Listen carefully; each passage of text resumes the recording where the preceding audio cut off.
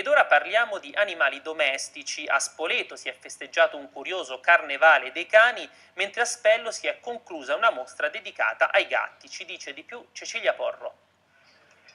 A Spoleto una coda di carnevale, anzi tante code, quelle dei cani che per il secondo anno hanno preso parte all'iniziativa per raccogliere fondi destinati al canile comunale costumi su misura, qualche accessorio, un po' di colori e il gioco è fatto.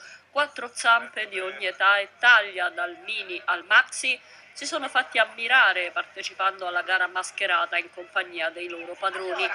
Da questi ladri, a dire il vero, ci saremmo aspettati un bassotto, ma tant'è e questa signora andrebbe premiata per l'autoironia. Spoleto assiste incuriosita, ma non sappiamo se a divertirsi di più siano i cittadini oppure i cani.